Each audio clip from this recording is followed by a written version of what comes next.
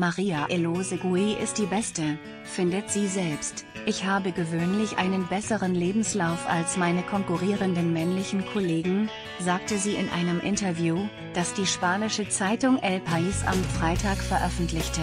Nein, sie sei keine Quotenfrau, aber wenn man sie so nennen wolle, habe sie auch nichts dagegen. Elose Gui ist in dieser Woche von der Parlamentarischen Versammlung des Europarats zur Richterin am Europäischen Gerichtshof für Menschenrechte in Straßburg gewählt worden, wobei sie zwei Männer ausstach. Eine Frau am männerdominierten Menschenrechtsgerichtshof, das kam in Spanien als gute Nachricht an, bis die linken Netzzeitung El Diario.es den Lebenslauf von Elose Gui mal genauer unter die Lupen nahm und überraschende Dinge zum Vorschein brachte.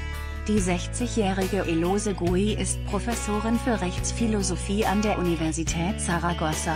Aus Gründen, die nur ihr bekannt sind, hat sie sich immer wieder mit der menschlichen Sexualität befasst und ist dabei zu einem bemerkenswerten Schluss gekommen, wer sein sexuelles Verhalten im Einklang mit seinem biologischen Geschlecht aufbaut und verwirklicht, entwickelt einen ausgewogenen und gesunden Lebenswandel, und wer darauf beharrt, gegen seine Biologie anzugehen, wird verschiedene Pathologien entwickeln, das ist klar.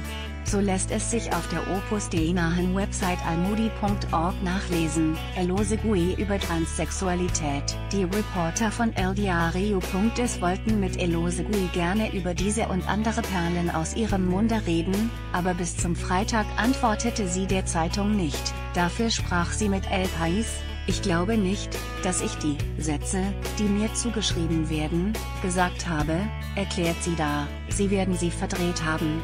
Im Netz lässt sich nun aber vieles nachlesen und auch nachhören, was die künftige Menschenrechtsrichterin im Laufe der vergangenen Jahre gesagt hat, etwa, dass die Transsexualität eine Krankheit, ein Leiden, eine Pathologie, eine Tragödie sei. Vielleicht meint sie das tatsächlich nicht böse, vielleicht denkt sie an das individuelle Drama des Menschen, der entdeckt, im falschen Körper zu stecken. Dass es Betroffenen nicht hilft, zum Kranken erklärt zu werden, ist der Juristin offenbar nicht durch den Kopf gegangen. Mehr zum Thema Frankfurt. Demo gegen Demo für alle auf die Frage, ob auch die Homosexualität aus ihrer Sicht eine Pathologie sei, antwortet Elose Gui im El País Interview ausweichend, nein, ich glaube nicht, dass die Homosexualität Pathologien verursacht.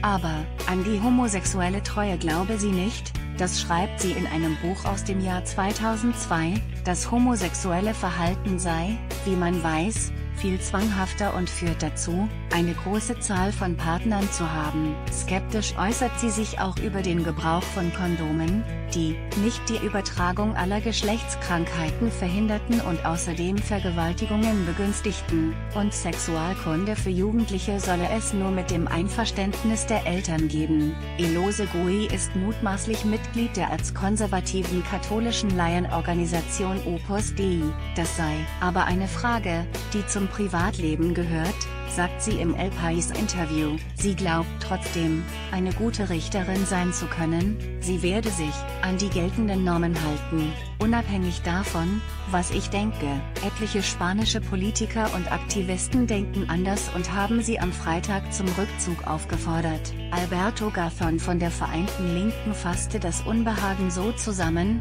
sie spiegelt nicht wider, was